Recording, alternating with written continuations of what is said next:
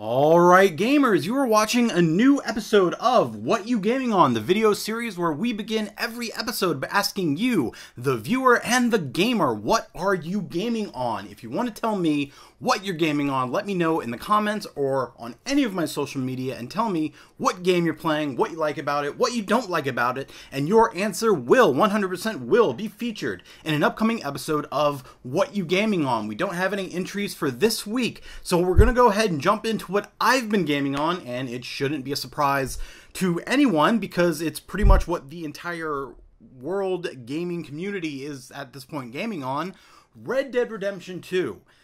I had a lot of worries. Well, not a lot of worries. I had one big worry about this game in the time that it's been announced, in the few years that it's been announced and has finally launched.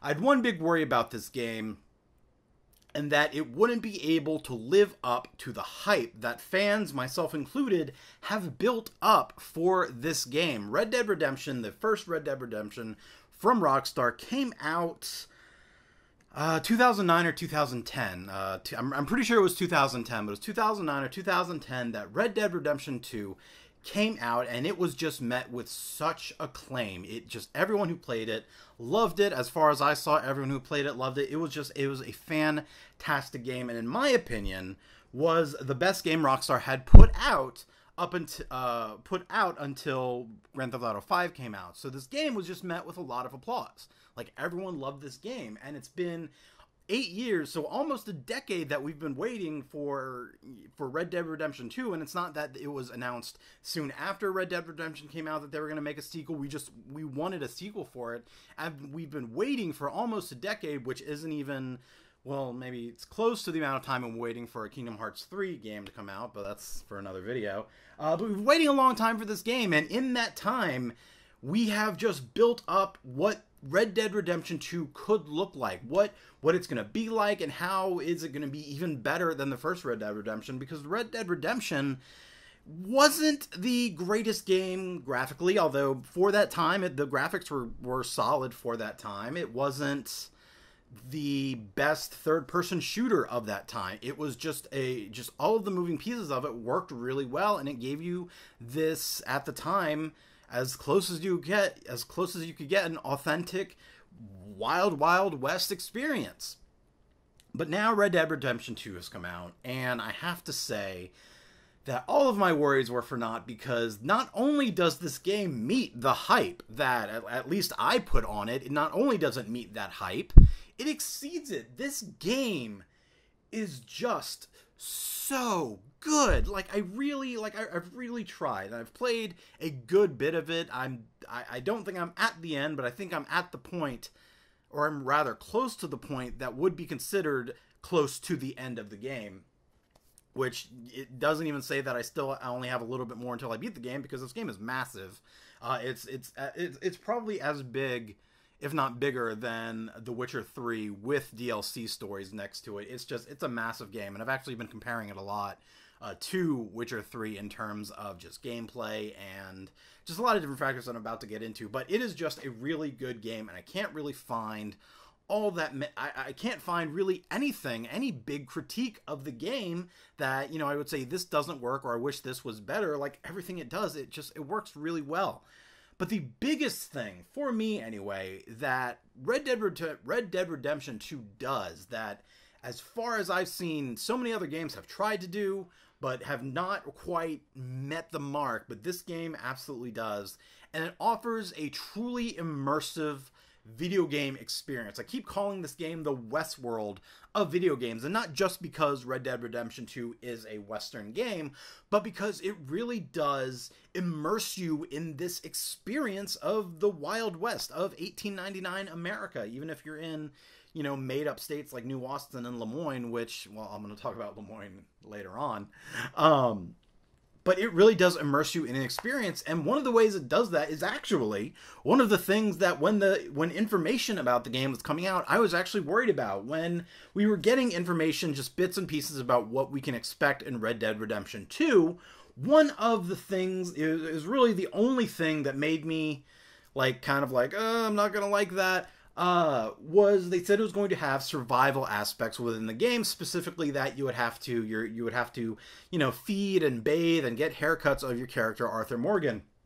And I hate that in video games. I hate I I hate's a strong word. I don't like as much as other aspects of a game a the survival elements of a game. And they did these they they had these same kind of elements in Rockstar's earlier game, Grand Theft Auto San Andreas, where you had to feed, where you had to at least feed your character, Carl Johnson, CJ. You had to, like, every now and then stop in at a restaurant and get some food, or he's going to start losing health and die. Uh, and I hated that. It was my least favorite thing about Grand Theft Auto San Andreas. As, as, as much as I loved the rest of that game, I hated that aspect of it. It was just annoying. It was tedious. But then again, you also had cheat codes for it, which at that time, the Grand Theft Auto 3 to San Andreas era of gaming was like the golden age of cheat codes. So, you know, you got the invincibility cheat and you didn't really have to worry about it anymore. Um, but they were basically reintroducing those aspects into Red Dead Red Dead Redemption 2, and I was super worried about it. I, I was like, um, I'm afraid I'm not going to like that. But now that I'm playing it, those survival aspects are one of my favorite parts of the game. Like, you know, usually usually things like that just feel so tedious. But in this game, I actually enjoy like taking a taking a break on whatever journey I'm on to go stop in at the saloon, get some dinner, get a drink, maybe play some poker and gamble a little bit, go to a hotel, take a bath, go to sleep, wake up, get breakfast, take care of my horse, and then continue on my journey. It's it's something that really does just make this game feel like you're you're really living this experience. And you know, I, I keep saying it like I, I wasn't looking forward to that part of the game, and now that it's here, I love it. Another aspect of immersion in this game is actually the the the gang itself, which is the biggest part. Which is, I mean, it was a big part of Red Dead Redemption was the Dutch van der Linde gang. You as John Marston, you, and there were only four other survivors of the gang. Gang, and the entire story of it you, was you were hunting them down for the government because the government kidnapped John Marston's wife and child and were holding them hostage unless he went out and killed his former gang brothers. Uh, so now in Red Dead Redemption 2, that it's a prequel, we get to experience the Dutch van der Linde gang and not just the the five characters that we knew in Red Dead Redemption 1, but the rest of the gang. And they really are a family. And, and, I'm not just saying that, oh, they're a family because that's what they're supposed to be in the game. Like, they genuinely feel not just a family to themselves, but they feel like a family for you. You feel like you're a part of this family. There are so many little instances in this game where you're walking around camp and you'll stop and have a conversation with someone and they'll tell you about what they're worried about. And you know the the story of it is what what little information we got in Red Dead Redemption 1 about the breaking up of the Van der Linde gang or at least that incarnation of the gang was that Dutch quote unquote according to John Marston went crazy but we don't really know much else about it just that he went crazy. He changed but before that he was an amazing leader. He was like a father to them. So you know that change really caught them all by surprise. Well now that we're playing red dead redemption 2 we're seeing that that transition of Dutch and the gang kind of not going crazy, but moving further and further towards extremes that at the beginning of this gang, their ideals were that they weren't going to do these things. But more and more, they start doing worse and worse things. And yes, they're a gang. They're definitely the outlaws in this world. But they truly do see themselves as kind of Robin Hood esque.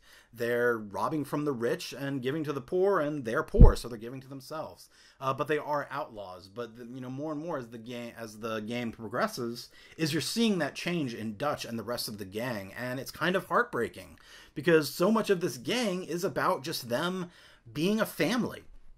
And there's so many little moments that aren't even like they're not part of a mission, they're not part of any game experience where you're going to get like gear from doing it or anything. There's just so many little moments with this gang, with this family that stand out that really pull you in and make you feel like you're a part of this family. One of them sticks out to me so far. Uh, of the many of the many little experiences in this game, one stands out. And it's one, it was like it was early morning. I was walking around the camp and suddenly you hear Jack.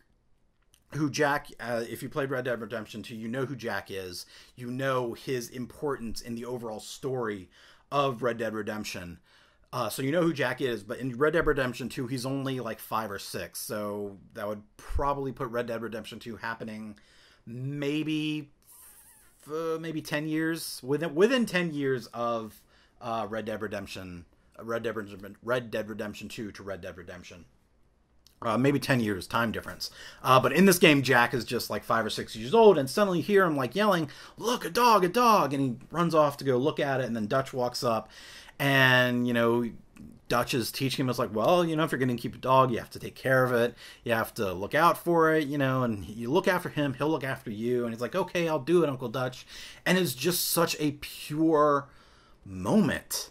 Like, and I had to take a picture of it, which this game does have a photo, a photo mode, which maybe that's the one thing I can critique of this game is the photo mode, is that it's not that great. But again, it's also 1899. You don't have a cell phone that you can take selfies with. You have this old timey picture box camera that like if you want to take a selfie, you at least story wise, you basically set it up away and then it's like you're someone else controlling the the camera as you focus uh focus on the picture with Arthur Morgan. But like that, but still like what what's there is still good, and you still get really good pictures.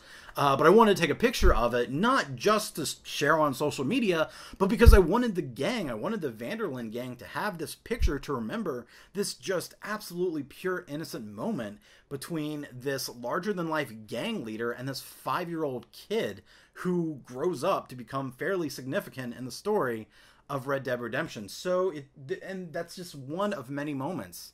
This game like that's my biggest that's my biggest praise for this game of the many amazing wonderful things I have to say about it.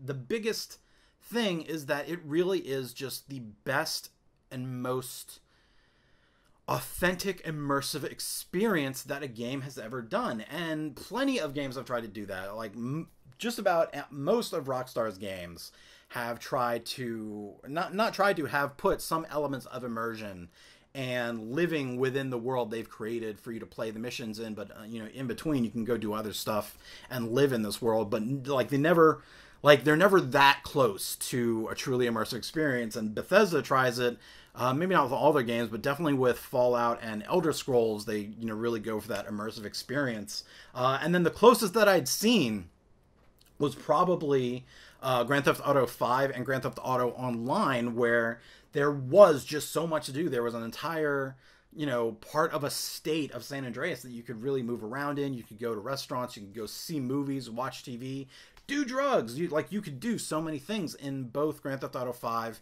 and Grand Theft Auto Online. But none of them, like Red Dead Redemption 2 is the first game of the games that I have played that is the truly at this point quintessential immersive experience. It is a game that you can truly lose yourself in and live in this world, live in this video game. Like VR is like starting to become a big thing that I'm I'm not really excited about it yet. I'll get excited about VR whenever it's like Sword Art Online levels of VR, and yes, me getting trapped in that VR world included. I would be totally okay with that. Um, but you know, that's when I'll get excited about VR. But if we ever get to that point and I can play virtual reality of Red Dead Redemption 2, hook me up to an IV, put me into VR, and just let me live because that's all I'm ever going to want to do is I'm just going to want to live in this world. Uh, and that's the other thing that is upcoming with Red Dead Redemption 2 is Red Dead Online, which is going to be the Grand Theft Auto Online of Red Dead Redemption 2. It's going to be the same world, the same map, but going to be an MMO experience that's multiplayer and you can do other stuff. What other stuff exactly you can do, we're not sure yet.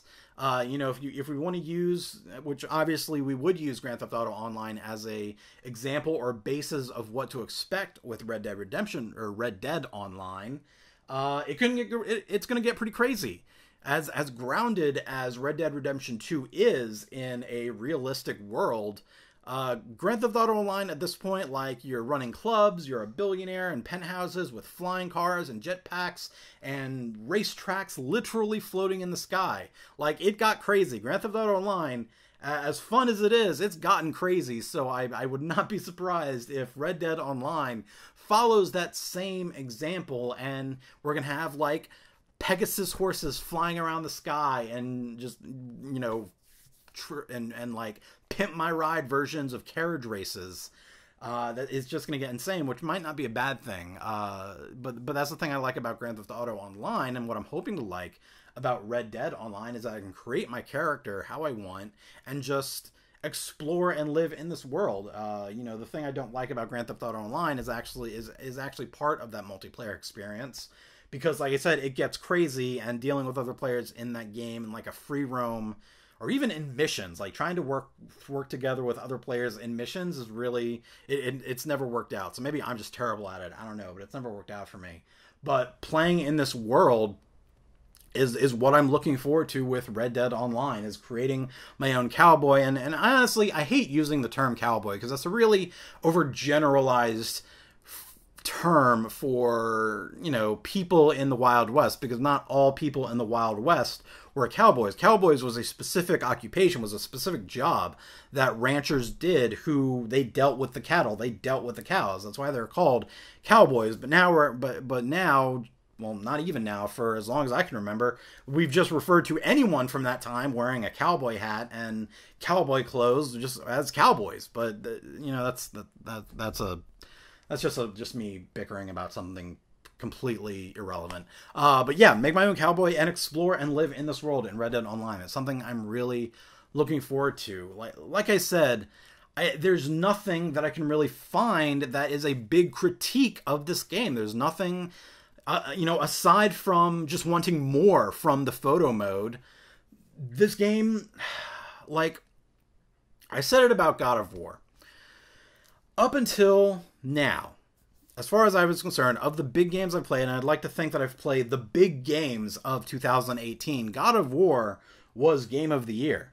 Like, God of War came out within six months ago and as far as i'm concerned this was like this was it this was game of the year and i would always say this that i don't like to throw around the words perfect game carelessly but god of war is the closest thing that's come to it and now with red dead redemption 2 i feel like i have to now enhance that phrase for red dead redemption 2 that i don't like to throw around the words perfect game carelessly but red dead redemption 2 might be it like it might be, if not only game of the year, unless Fallout 76 comes out in the next few weeks and just knocks it out of the park.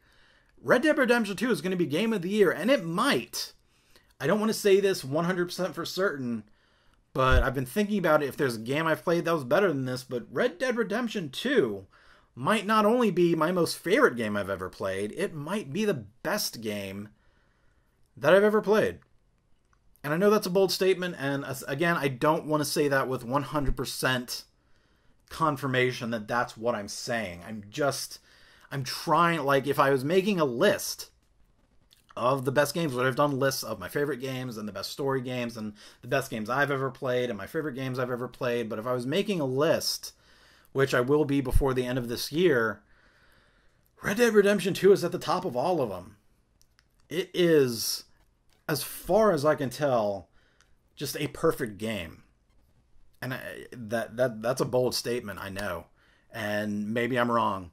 Maybe I'll get to a point in this game where that just ruins everything. It's like, oh, this garbage now, but I haven't gotten there yet, and I, I don't think I'm going to get there. Uh, it, at, at the very least, at this point in the early November of 2018, I'm going to say Red Dead Redemption 2 is game of the year.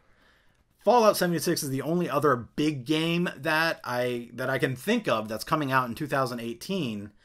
The other bigger games that we're waiting for are going to be 2019, but you know, in 2018, the only one we're waiting on is Fallout 76, which I'm very much looking forward to.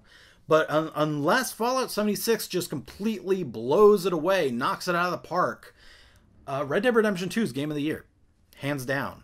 God of War is a it's not a close second, but I would put it at second. But Red Dead Redemption 2, game of the year, possibly, if not the one of the best games I've ever played. But now I want to hear from you. What did you think of Red Dead Redemption 2 and are you as head over heels in love with it as I am? What do you think of the immersive experience? I want to hear from you. So let me know in the comments of this video or on any of my social media what you think of Red Dead Redemption 2. What are you looking for with Red Dead Online? And if you wanted to let me know what you're gaming on, if you want your answer to be featured in an upcoming video, let me know what you're gaming on in the comments of this video or on any of my social media.